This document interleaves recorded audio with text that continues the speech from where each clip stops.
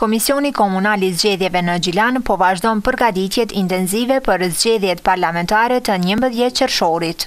Komisioni Qendror i Zgjedhjeve tashmë ka miratuar tridhjetë e katër qendra të votimit me njëqind e njëzet e tetë vendvotime në komunën e Gjilanit. Nga tridhjetë e katër qendrat, katër prej tyre janë të komunitetit serb me shtatë vendvotime, kurse pjesa tjetër prej njëqind e njëzet e një vendvotimesh i takojnë votuesve shqiptarë. Kryesuesi i Komisionit Komunal të Zgjedhjeve në Gjilan, Ferit Shabani, theksoi se këtë vit qendër e re e votimit është hapur në fshatin Kmetovc. Është e re që në qendrën është hap qendër e re e votimit në fshatin Kmetovc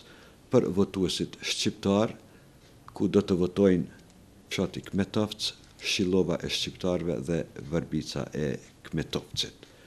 Sipas listës preliminare, në Gjilan kanë të drejtë vote rreth nëntëdhjetë e katër mijë votues, nëpër qendrat e caktuara në bazë të vendbanimeve, listë kjo që është publike në të gjitha qendrat e votimit në Kosovë, versioni final i së cilës do të publikohet më një qershor. Sa i përket votuesve me moshë të shtyrë apo të personave me aftësi të kufizuara, udhëheqësi i KKZ-së në Gjilan, Ferit Shabani, tha se edhe këtë vit, Komisioni ka të angazhuar ekipin mobil në terren, i cili do të vizitojë çdo votues që është në këtë listë.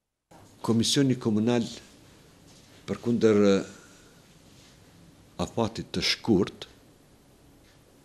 që njerëzit për të aplikuar në zyrat e Komisionit Komunal Zgjedhor për të votuar si person i ngujuar apo në institucione,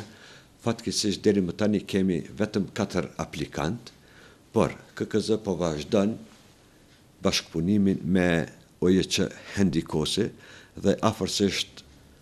sipas informatave preliminare kanë shprehur interesim respektivisht Kjo mundësi do t'u ofrohet rreth njëqind e njëzet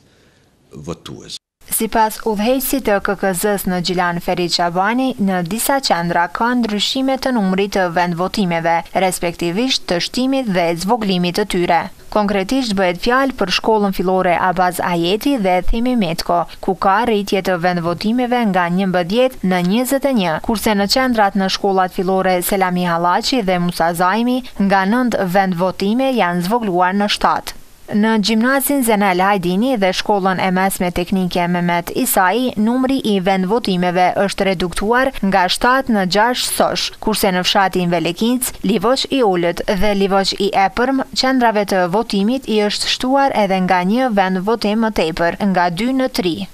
Kryesuesi i Komisionit Komunal të Zgjedhjeve në Gjilan, Ferit Shabani, tregon se qytetarët që kanë kërkuar ndërrim të vendvotimit kanë pasur mundësi deri më njëzet e tetë maj, me ç'rast Ky komision ka marrë nëntëdhjetë e tri kërkesa të cilat i ka miratuar, ndërsa të refuzuara janë shtatë, ato të cilat janë referuar me dokument të komunave të tjera. Shabani gjithashtu theksoi se trajnimi nëpër këshilla të votimit, komisionerëve dhe vëzhguesve do të fillojë së shpejti, pasi subjektet politike kanë dërguar nominimet dhe procedurat në afat kohor të paraparë. Ndërkaq kompletimi i stafit nëpër qendra të votimit dhe i të angazhuarve të tjerë është në konkretizim e sipër.